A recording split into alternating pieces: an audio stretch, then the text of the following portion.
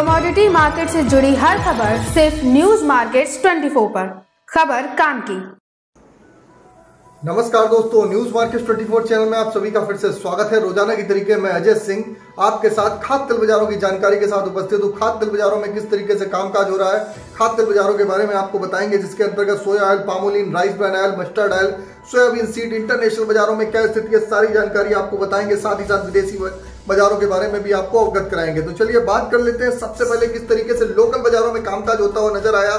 जैसे कि खाद तेलों में आप देखा जा रहा है, बाजारों में एक रेंज बाउंड एक सीमित दायरे में कामकाज हो रहा है। अगर विदेशी बाजारों में देखा जाए तो विदेशी बाजारों में लगातार गिरावट आ रही है, लेकिन लोकल बाजारों में अगर आप लोकल प्लांट वाले और मील वालों के भाव देखेंगे तो बहुत ज़्यादा लंबी चौड़ी गिरावट फ़िलहाल नहीं देखी जा रही है। बाजारों में गिरावट होने का मुख्य कारण है, जैसे कि आप लोगों को मालूम है जो मलेशिया में लगातार पाम ऑयल का स्टॉक बढ़ रहा है इस वजह से। केएलसी के बाजारों में एक दबाव देखा जा रहा है और जो अमेरिका में मौसम जो साफ़ होने के संकेत मिल रहे हैं, इस वजह से सीबॉट के बाजारों में आपको दबाव देखने के लिए साफ़ साफ़ बाजारों में मिल रहा है।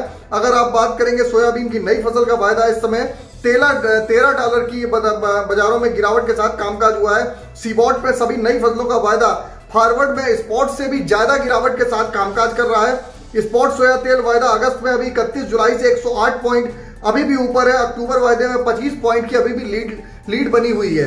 तो आप जान के चल सकते हैं कि बाजारों में लगातार जो सीबॉट में दबाव देखा जा रहा है, उसका मुख्य कारण क्या है? सीबॉट में दबाव आने का मुख्य कारण अमेरिका में सूखा मौसम है, अमेरिका में जैसे मौसम की खबरें आती हैं, उसके हिसाब से सीबॉट का बाज़ार रिएक्ट कर रहा है। जबकि रशिया यूक्रेन का विवाद भी लगातार कंटिन्यू चल रहा है, लेकिन उसका कोई खास असर होता हुआ बाजारों में आपको नहीं देखना, देखने के लिए मिल रहा है। अगर बात करेंगे अगस्त मंथ में तो अगस्त मार्केट में अगर खाद तेल बाजारों की बात करी जाए तो मार्केट कुछ ठंडे होते हुए नज़र आ रहे हैं। अगर बात करेंगे तो कांडला में ओलिन लगभग दो रुपए किलो नीचे कामकाज हो रहा है। जयपुर कोल, अगर कोलू तेल कोलकाता चावल रिफाइंड, सब एक भाव पे टिके हुए हैं, क्योंकि सरसों में बाजारों में तेज़ी देखी जा रही है, इस वजह से बाजारों में सरसों और राइस ब्रांड में उतनी तेज़ी गिरावट नहीं देखी जा रही है।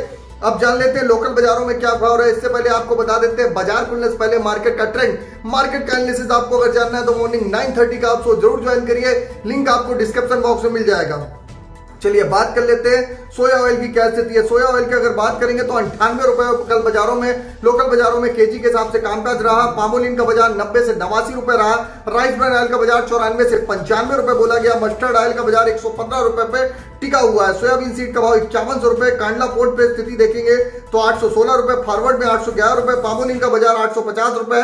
सोया रिफाइंड का भाव नौ सौ पैंतालीस रुपए, सोया डिगम आठ सौ पैंसठ रुपए, फॉरवर्ड में आठ सौ पैंसठ रुपए, सनफ्लावर ऑयल का भाव नौ सौ पचास रुपए। केएलसी की अगर बात करेंगे, केएलसी ने, जैसे कि आप लोग को ऑलरेडी बताया था, सैंतीस सौ रिंगिट नीचे में केएलसी जा सकती है, सैंतीस सौ से चार हज़ार की रेंज में कामकाज होता हुआ नज़र आएगा तो केएलसी में कल तिरासी रिंगिट की गिरावट हुई। आज भी सुबह केएलसी देखेंगे तो लगभग उनचास रिंगिट की गिरावट के साथ केएलसी में कामकाज देखा जा रहा है। चलिए बात कर लेते हैं सोया सीपीओ के सपोर्ट रेस्टेंस लेवल क्या इससे पहले सीबॉट के बाजारों की बात कर लेते हैं। तो सीबॉट का बाज़ार भी लगभग आप देखेंगे 134 पॉइंट की बड़ी गिरावट के साथ बाज़ार बंद हुआ है। तो बाजारों में आज एक से दो रुपए किलो अगर पोर्ट की बात करेंगे तो नरमी देखी जाएगी। घरेलू बाजारों में बाजारों में डिमांड डिमांड होने के कारण बाजारों में बहुत ज़्यादा गिरावट की संभावना नहीं देखी जा रही है। सोया ऑयल का सपोर्ट की बात करेंगे तो सोया ऑयल का सपोर्ट का लेवल संतानवे रुपए रेजिस्टेंस का लेवल निन्यानवे रुपए पामोलिन का सपोर्ट का लेवल अट्ठासी रुपए रेजिस्टेंस का लेवल नब्बे रुपए राइस ब्रांड का सपोर्ट का लेवल चौरानवे रुपए रेजिस्टेंस का लेवल छियानवे रुपए मस्टर्ड सीड का सपोर्ट का लेवल उनसठ सौ रुपए रेजिस्टेंस का लेवल इकसठ सौ रुपए,